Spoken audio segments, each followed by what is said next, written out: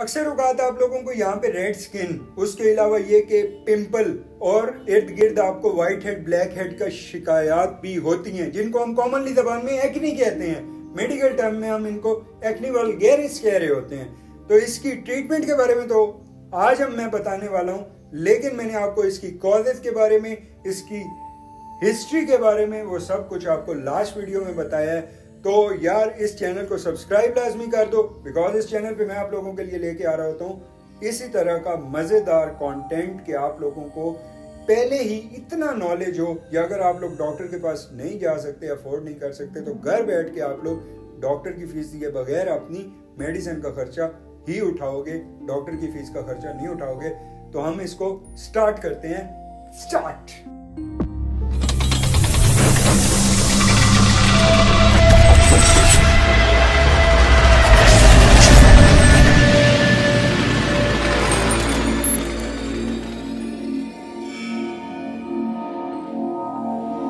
I am doctor Zoro और आज हम बात करने वाले हैं मेडिसिन के बारे में। तो मेडिसिन एक्नी के लिए कौन सी हो सकती है? सबसे फ़र्स्ट लाइन मेडिसिन इसके लिए जो यूज़ होती है, वो बेंजोइल पारोक्साइड यूज़ होती है। ये बेंजोइल पारोक्साइड आप लोगों के लिए किस तरह फ़ायदेमंद हो सकती है? कि ये एक तो आप लोगों को बैक्टीरिया से रेजिस्टेंट नहीं बनाती। अक्सर अवकात आपको फिर एंटीबायोटिक्स लगती ही नहीं है।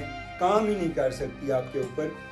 एक तो ये कि ये आपको उससे रेजिस्टेंट नहीं बनाती, लेकिन इसका थोड़ा बहुत साइड इफ़ेक्ट ये है कि आप लोगों की स्किन को ये ड्राई कर देगी, और ज़्यादा रेड कर देगी तो उसके लिए रिकमेंडेड यही होता है कि सनस्क्रीन वगैरह लगाओ एस पी एस सिक्सटी वगैरह वगैरह, ये कर सकते हो, ज़्यादा बेहतर है।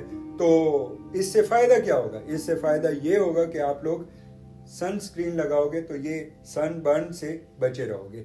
इसके अलावा सेकंड पे हमारे पास आती है एंटीबायोटिक्स एंटीबायोटिक्स नॉर्मली रिकमेंड तब की जाती हैं जब अगर आपके पिंपल के अंदर इन्फेक्शन फैल जाए। इन्फेक्शन के अंदर हम देते हैं एरिथ्रोमाइसिन एरिथ्रोमाइसिन कैटेगरी सी की हो।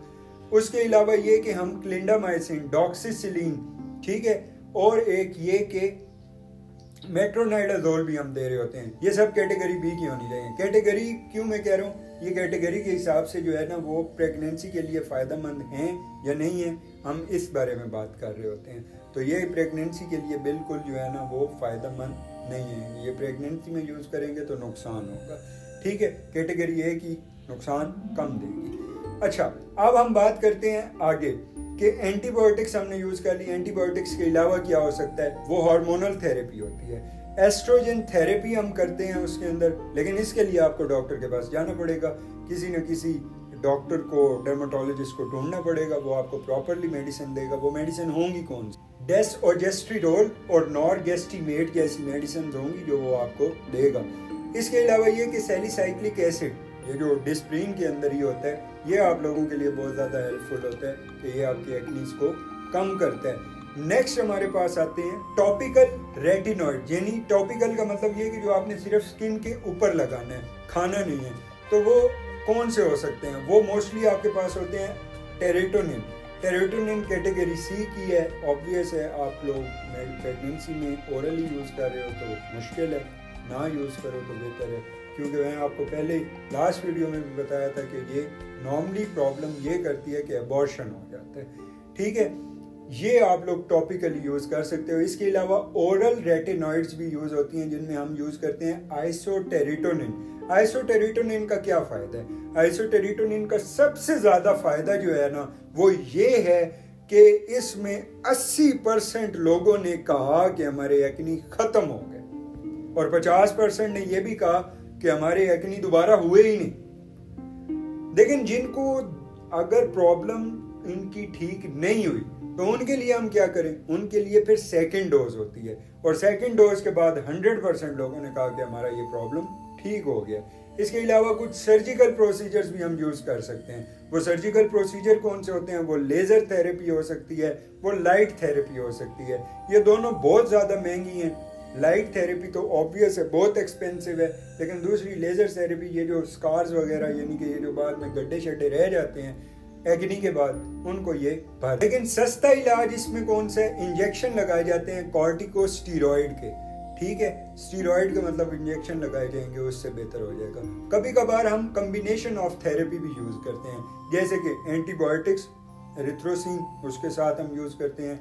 बेंजोइल पैरोक्साइड बेंजोइल पैरोक्साइड या फिर टॉपिकल रेटिनाइड्स यूज़ कर सकते हैं, ये टेरिटोनिन यूज़ करते हैं, या फिर हम ये कि ये टेरिटोनिन के साथ आइसोटेरिटोनिन खाने के लिए भी दे देते हैं। इसी तरह बेंजोइल पैरोक्साइड के साथ अक्सर अवकात हम खाने के लिए भी दे देते हैं ये आइसोटेरिटोनिन तो ये ज़्यादातर कम्बिनेशन ऑफ़ थेरेपी बहुत ज़्यादा हेल्पफुल है और कॉमनली ये परफॉर्म की भी जाती है।